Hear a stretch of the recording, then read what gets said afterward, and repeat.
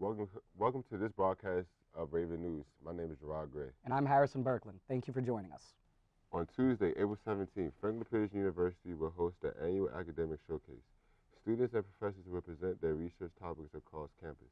There will be presentations, papers, and debates. Among the most intriguing subjects is the constitutional protection for fake news. This will be presented as a demonstration as well as a webcast. Webcasts are a new feature to the academic showcase this year, which is one of the many improvements the university has made to making this a more popular event. Making the showcase a one-day event and canceling classes to accommodate better attendance were big leaps forward. The addition of the Raven Brain Bowl has been a fun and appropriate feature, using technology to broadcast some of the events around the nation adds prestige and publicity, says Paul Jenkins, University Librarian. The event will be going on all day, so be sure to support your classmates and professors. Franklin Pierce hosted hip hop artist Chiddy Bang on April 7th, 2018 at 8 p.m. in the Fieldhouse. The concert appeared to be a big hit with the senior class. Senior Tim Delano says, I'm happy to see that the school appears to be doing more for spring concerts. I remember my freshman year, we had Chris Allen, and I really didn't enjoy that at all. The concert was organized by the Pierce Activities Council. There was a maximum of 650 students allowed in the field house. To ensure student safety, there were campus safety officers and Rindge police officers, as well as an EMT. Senior Ainsley Krikorian says, usually we just look forward to spring weekend but this concert was just another thing for us to enjoy. Students could get up to two free tickets in the glass foyer from April 2nd to April 6th between 4 to 6 p.m. As the sun sets on another successful academic year, the campus is abuzz with chatter about post-graduation plans. Seniors from all majors are anywhere from anxious to excited to begin the start of their rest of their lives. Senior music student Leo Souza notes even though I won't see my friends as much, I'm looking forward to the future and what it has in store. Commencement begins on May 12th. I hope that everyone spends their last month wisely. What are your plans for the summer? Some Franklin Pierce students are preparing for their summer internships. Junior Shannon Slater is interning with the Keene Swampbats, a summer collegiate baseball team. Slater, a communications major, will be a media intern for the Swampbats. Slater says, I'm really excited for it. I have friends who have interned for the Swampbats the last couple years, and they have all loved it. Slater says she is excited for what she can learn in a real-world working environment. I think it's a great opportunity to expand the skills I have already learned here at FPU. I will also be getting class credit, which is awesome. According to snagajob.com, some of the top reasons to do an internship are gaining experience, building your resume, and setting the foundation for your career. Students interested in doing an internship for the summer should talk to their advisors or career services about their options to receive course credit for an internship. Students must fill out a form and return it to the registrar prior to the start of their internship. Coming up, we will have a story on gun control in New Hampshire.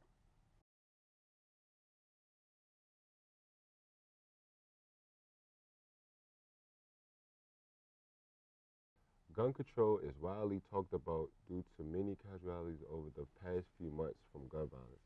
It has been four months into the new year, and there were 17 school shootings already. Many people are asking the president to have stricter gun laws to protect our people and stop the violence. There is a big debate on if guns really are the problem or are people the problem. Franklin Pierce Jr. Sierra Bell said, I feel that guns are the problem as well as the people behind the guns. But in order for there to be any kind of solution, the government should initially start with enforcing regulations.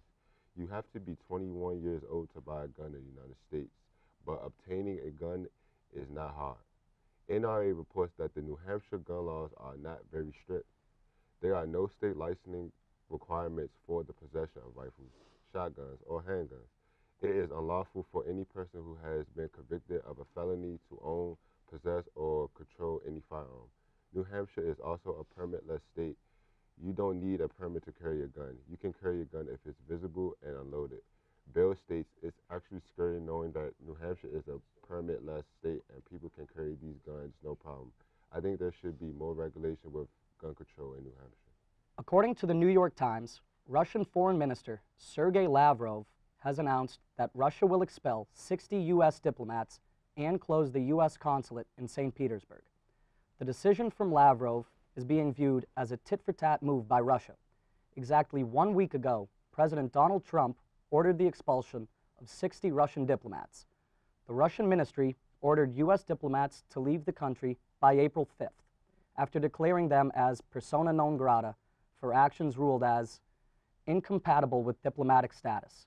U.S. Department spokeswoman Heather Nauert responded after Huntsman was summoned, stating that Moscow should not be acting like a victim.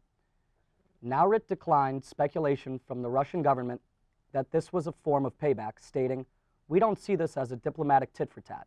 Russia has been under fire by the UK government since being accused of poisoning former Russian double agent Sergei Skripal and his daughter Yulia Skripal on British soil on March 4th. More than 20 nations, including long term allies such as the US, have supported Britain by expelling more than 100 Russian diplomats. Now, here's Meg with sports.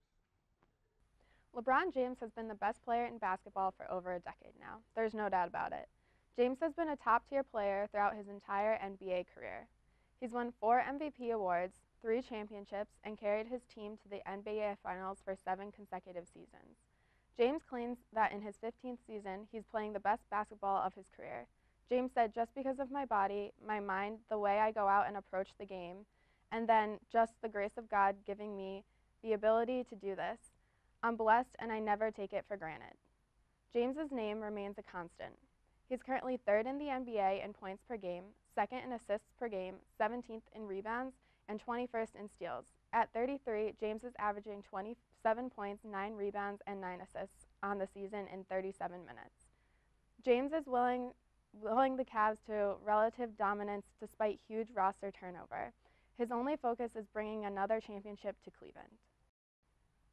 With only five games left in the 2017 2018 NBA season, Houston Rockets star guard James Harden is having another superb season. He's averaging 30.6 points, 5.4 rebounds, and 9 assists throughout the entire season. James Harden is a leading candidate for the league MVP this year because of his remarkable season. Harden helped his team clinch a playoff berth and the number one overall seed throughout the entire playoffs. It has been a close race for the MVP award this year. Players like LeBron James, Anthony Davis, and Damian Lillard, and DeMar Rozan, DeRozan, all are having a great season as well as are also candidates for the MVP award. ESPN analyst Rachel Nichols says the MVP conversation is over. James Harden has the best go to move in the NBA. He's unstoppable this year. James has led his team to 60 wins, which is a franchise NBA record. NBA star DeMar DeRozan says Harden has earned it. The things he's been doing all year is incredible. I think he's a lock for it. He deserves it. Harden hopes to win his first MVP award after this season at his second annual televised NBA awards show on June 25th. And back to you guys at the desk. Thank you for joining us here at Raven News. See you next time.